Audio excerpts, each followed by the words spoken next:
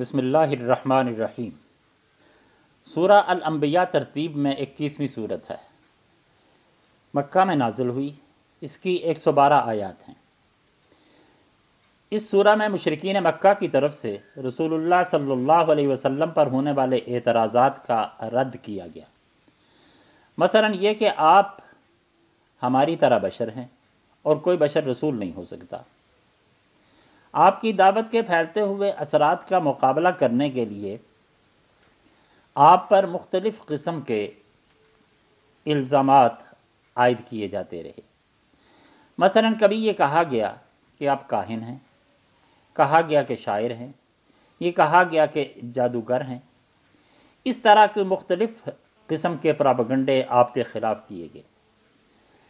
लेकिन एक दिन उन्होंने बैठ कर ये सोचा कि रसूलुल्लाह सल्लल्लाहु अलैहि वसल्लम के ख़िलाफ़ हम जितनी बातें कर रहे हैं, ये सारी बेअसर हैं। इसलिए कि आप हमारे सामने पैदा हुए और हम में सबसे ज़्यादा सादक और अमीन हैं। हम में से हर शख्स आपकी आपकी दयानत, आपकी सदाकत, आपकी अमानत, आपकी अक्लमंदी, आपकी शराफत, आपके, के तमाम औसाफ से वाकिफ़ है। अब जबकि आप बड़ी उम्र को पहुँच गए हैं तो आपके बारे में हम जो कुछ कह रहे हैं, इनमें से कोई भी चीज़ मार्केट में चल नहीं पा रही।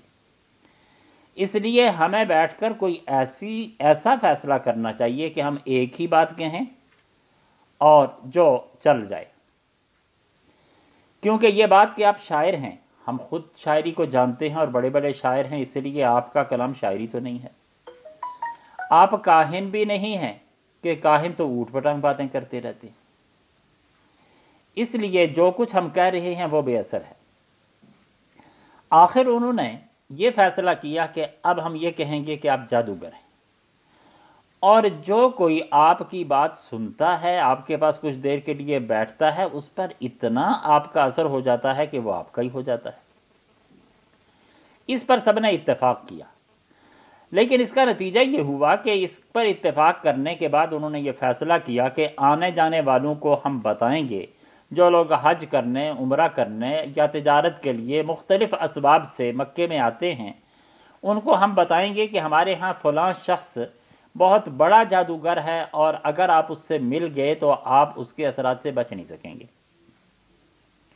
अपनी तरफ़ से तो उन्होंने ये किया कि लोगों को मिलने से रोक दिया जाए लेकिन इसका उल्टा असर हुआ।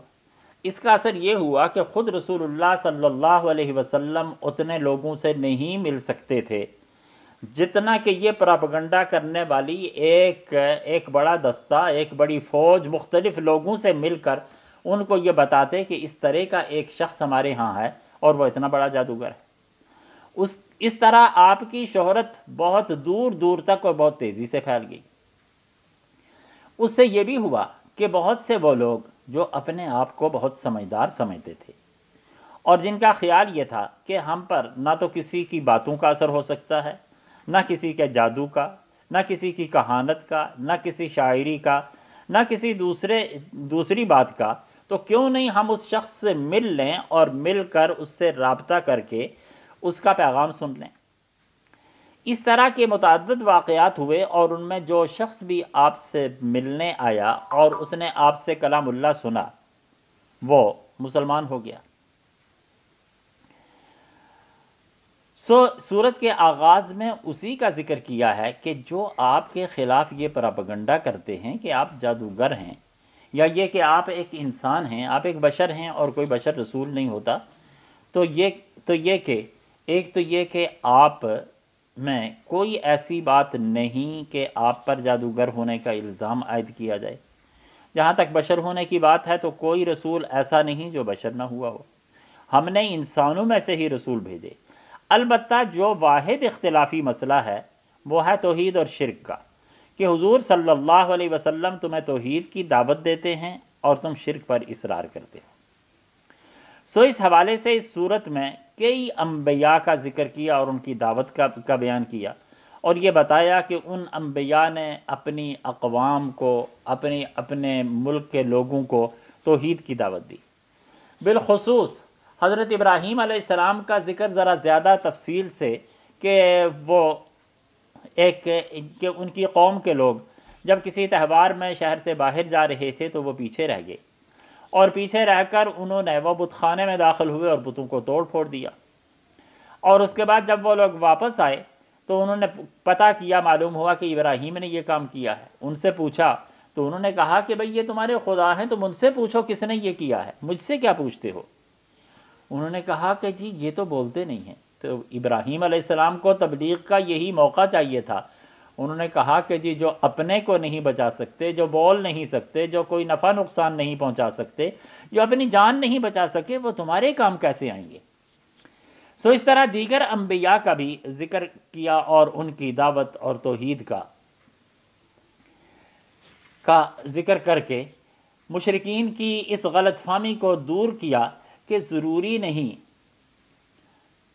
हाँ कि ज़रूरी नहीं कि सब पर एक ही तरह का अजाब आए कि जिस गलबा और इकतदार के खो जाने के डर से तुम अपनी रसूम और रिवाज, अपना शिरक और बुत परस्ती पर इसरार कर रहे हो, उसके बारे में कुदरत का ये फ़ैसला है कि अन्नल अर्ज़ यरिसुहा इबादी सालिहून, के बादशाही तो नेक बंदों को मिलेगी, मुल्क का इकतदार तो नेक बंदों को मिलेगा।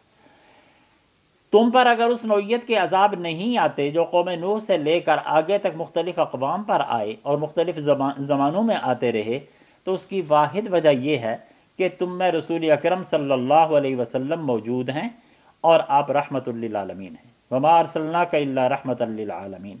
हमने आपको तमाम जहानों के लिए रहमत बनाकर भेजा है।